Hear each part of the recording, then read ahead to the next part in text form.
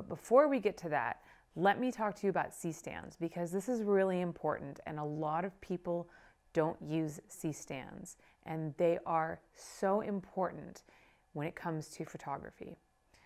The C stands for cinema. This is the arm right here, which you can move up and down. This is the knuckle, which is actually removable.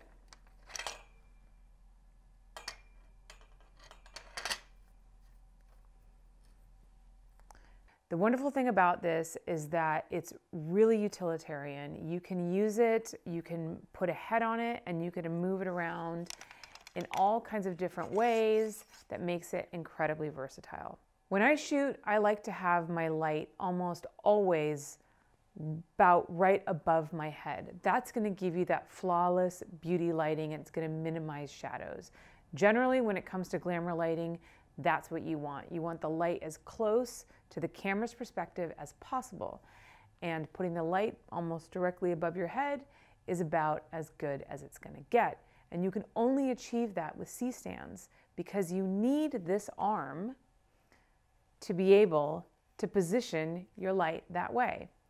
If you have it on just a straight stand, like one of the black stands that I have my background stands are, you see how it's impossible to put the light, which will be resting right here, above my head. It's always going to be just to the side of you, which might be fine if you're shooting from far away because the light will spread a lot. But if you're starting to put the light close to the model, maybe you want to create some nice soft shadows, you want to make it a little bit more moody, that's when the position of the light is going to make a huge difference. Now, Another thing about C-stands is that there is absolutely a correct and an incorrect way to use them. And it's really important that you know how to use them properly because it can be quite dangerous if you set them up incorrectly. When you look at the top of the C-stand, you'll see there is one large knob that is on the knuckle. The knuckle is this detachable piece that rests on the C-stand, which is what makes it so special. Without the knuckle, you have just a stand. C-stands are designed in a way where you can get leverage. So you can tighten this arm as much as you need for however heavy your light is without not being able to untighten it later. Let me show you how. When you're facing this knob, it's righty-tighty, lefty-loosey. So if you put a very heavy light on the end of this pole right here, you want to make sure that it's going to be really tight when you drop it down. Otherwise, you risk the actual light falling down and hitting your subject or somebody else in the head. This is not a good thing. So facing this knob, I know that if I pull it down to the right, it will actually get tighter as I go. So I pull this down to the right, it's getting tighter and tighter and tighter and then I can't move it anymore, which is good. Now, if I try to actually loosen it by just unscrewing this, well, I've made it so tight that I can't do it. But C-stands allow you to have that leverage so that in order to loosen it, all I simply have to do is come back to this arm and push it this way. Goodness, I really tightened that thing until it's loose enough that I can undo this. So what you're doing is using the power of gravity to make sure that even if this, if you don't do it too tight enough and this like slips down a little bit, it's not going to loosen it, it's only going to tighten it. So whatever heavy thing that you have here is not in complete danger of collapsing onto the ground. If you're going the opposite way, if you're facing it this way, it's Left is tight, right is loose. Now that's hard to remember. So if you're in a position where you want to bring your light down this way, now of course if you leave the knob facing away from you, it's going to get looser as it goes down, right? So you put something heavy on here, it's going to fall to the ground. If your C-stand is facing this way, you need the light to come down this way. Just turn this around, make sure that this large knob is facing you, and then you've got the righty-tighty, lefty-loosey scenario going on. I cannot stress to you how important this is. I've had assistants come on set who don't know this. They put a light on the end, they go the opposite way.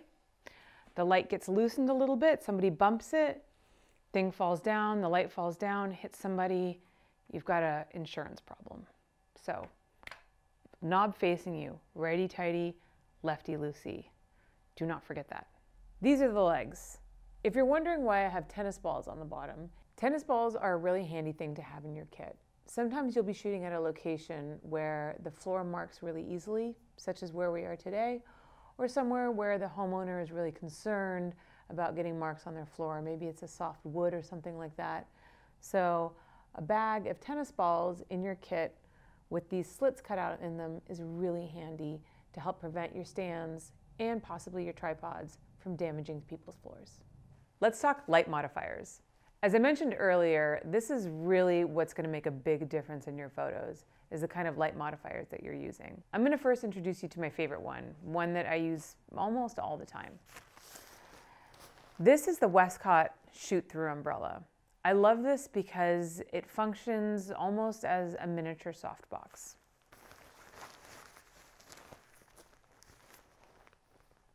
It's easily packable, as you can see. Now, you'll have to forgive my equipment. I do work a lot and it's well worn, but it also goes to show that your stuff can be a little rough around the edges, but still work really well. So these ends are not really supposed to stick out, but like I said, it still functions just fine. So on the inside, it's white and it's surrounded by a silver lining. So basically what you do with this umbrella, rather than using it to reflect light back to you, you actually shoot the light through it. I'm gonna put it on this light and you can see what I mean.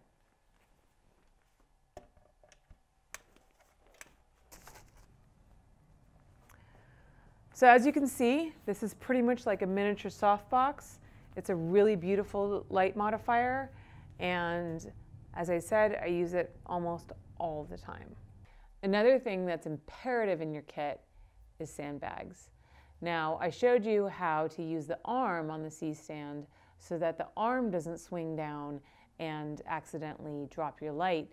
But what happens if the entire C-stand blows over? What happens if it's really windy that light modifier is like a sail. It's going to pick up that wind and it is going to fall over. So always put sandbags on the legs of your C-stands. Okay, we're all set up and we're ready to position the light to where I want it. I'm going to use a C-stand arm to position this umbrella to about right above my head for that perfect beauty lighting that I was talking about. The knuckle is facing me when I'm standing behind this light. So I know that when I move the arm over to the right, I'm gonna get a righty-tighty. My light's gonna be secure. It's not gonna fall on anybody.